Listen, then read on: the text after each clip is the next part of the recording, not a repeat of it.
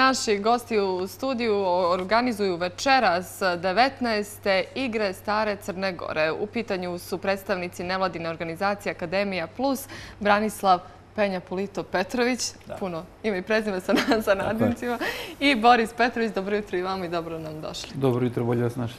Dakle, 19. igre Stare Crne Gore traju tri dana. Večeras počinjete. Čime otvarate igre? Pa, prvo čašću, prvo snagom, prvo ljubavi prema Staroj Crnoj Gori i obavezu koji su naši stari ljudi koji su osobito sa velikim poštovanjem Voja Jovićevića, našeg starog predavoca, nastavili smo tu priču i došla je slovo da mi sad to vodimo. E, ljudi iz e, Riječke Nahije su nam dali e, štafetu, znači dali su nam snagu i da mi to završimo. Vrlo je to teško. Današnja situacija, sela su zapuštena, mjeste zajednice koje rade na prostoru Cetinske opštine su skoro unemogućene za radu i vidjeli smo da kod tih ljudi nismo baš imali neke dobro razumivanje. Očekivali smo od prijestolnice, što ih je obaveza ovih godina bila, da preuzmu li to. Oni su se e, baš, kako bi ja to rekao, malo sklonili i mi smo baš dobili jedan dobar prostor i hvala im što smo mi podigli naš, eh, našu snagu, našu vojsku i mi smo sa našim prijateljima uspjeli da stvorimo financijska sredstva koji iznose od 3100 eura. To kažem jer toliko novaca smo prikupili. I idemo u jednoj divnoj noći na Časna Cetinje gdje ćemo da budemo domaćini jednog lijepog događaja eh, koji će da pokaže da Crna Gora živi na selu. A o tome će Boris najbolje.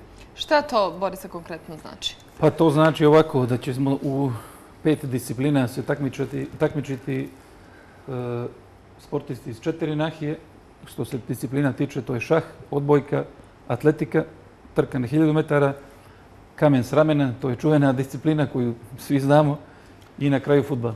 Iz koje nahije se do sada onako su najbolji takmičari? Šta se pokazalo? Ko ima najviše uspjeha? Pa detalje, detalje ovaj, tih sportskih, sportske podatke Penja bolje zna, bolje zna od mhm. mene, tako da on može bolje da, da odgovori na to pitanje. Ovako, e, zbog e, dobre organizacije, zbog e, širine i površine, Katunska nahija je odpočela ovu priču i tačno prije 19 godina na prostoru Danilovgradske opštine organizovali su se prve igre gdje su katonjani, odnosno Danilovgrađani, Zagarčani, sa gospodinom Branom Đuranovićem, Rajko Čupićem, Dejanom uh, Vukovićem i ostalim momcima.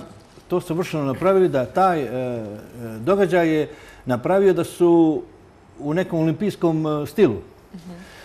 Kako je to krenulo, krenuli su i Riječke nahije, Riječka nahija krenula organizaciju i to se odešavalo na Rijeci Crnovića. Sad dolazi situacija da ljudi koji su to organizovali zbog starosti zbog biološkog života, e, drugi ljudi koji su to naslijedili nisu to vodili tim pravim putem.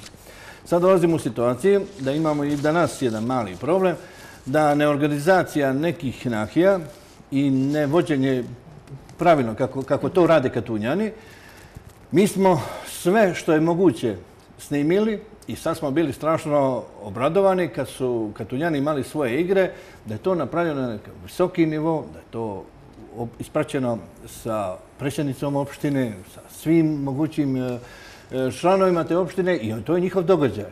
I oni imali velike rezultate. Tako da, da mi planiramo noćas da pozovemo sve ljude dobre volje koji vole svoje cetinje, svoju riječku nahiju, a odnosno katunsku nahiju, jer cetinje je podijeljeno teritorijalno da je u katunskoj nahiji, ali mi riječani imamo pravo na svoj kolač. E, bitno je da, da kažem jednu stvar. E, ovo ne bi mogli mi napraviti da nije dobrih ljudi iz Riječke nahije. Tu je Bato Šoć koji je omogućio start. E, s opremu i sav e, kvalitet od Zorana Milaševića. Naš e, Nikola, da mu ne idemo da reklamiramo, je omogućio sa prijateljima, a to su prijatelji Cedis, da su nam omogućili e, sve troškovnike za ove igre.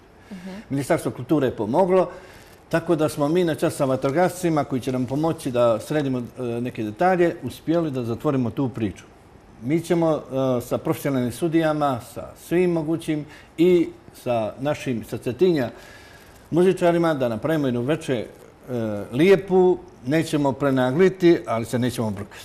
Da, čime završavate? Tri dana traje, rekli Tri dana, tri dana traje, noćas su odbojka, noćas je povu- povucanje- povukovanje konopa i mali futbal.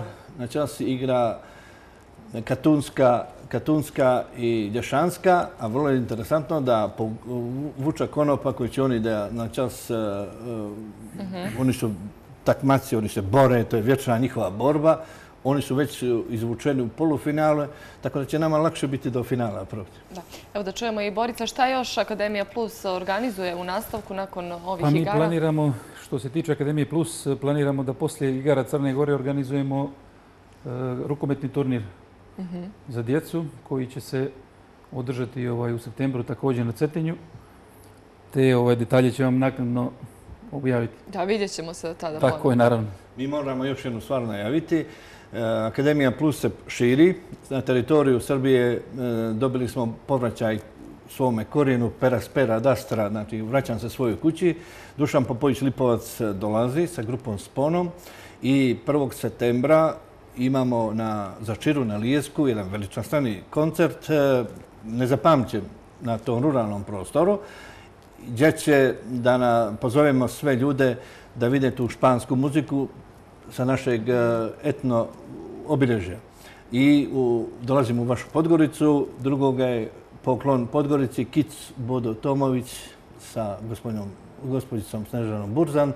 Smo organizovali da pokažemo jedan novi, da mi iz građana koji to vodimo, mi, smo građanska opcija. Građani iz građana. A večeras je naredna dva dana, odnosno za dane vikenda, uživajte u e, igrama Stare Crne Gore. Hvala vam mnogo što ste došli jutro, ste izvali vrijeme za Hvala i televiziju. Hvala i dođite. Hoćemo sigurno. Prijatno.